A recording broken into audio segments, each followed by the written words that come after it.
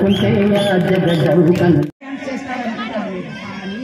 ఆ చిన్ని పాదాలతో ప్రపంచమంతా మురిసిపోయేటట్టుగా ఆయన నాట్యం చేసి చూపిస్తాడు.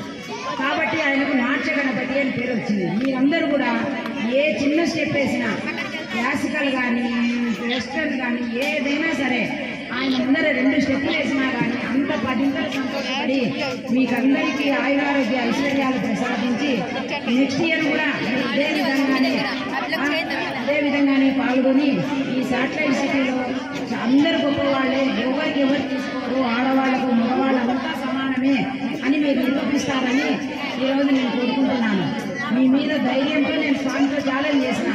ఈ రోజు రాత్రికి పార్వతీదేవి ఈశ్వరునితో ఛాలెంజ్ చేస్తుంది ఒకప్పుడు. చేసి తను గెలుస్తుందన్నమాట. నీ స్త్రీ శక్తి నాకు తెలియక అన్నాను దేవి మీరే గొప్పవాళ్ళు అని స్వామి కూడా ఒప్పుకున్నాడంట ఒకనొక టైంలో.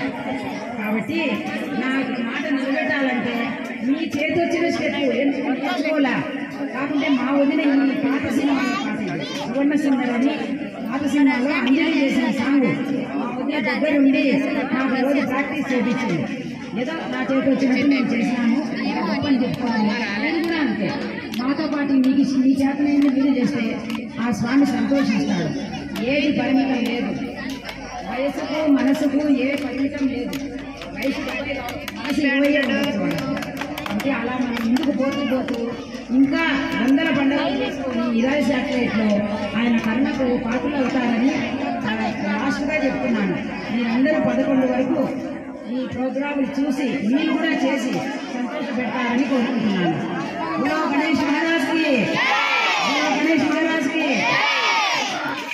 హలో చూడండి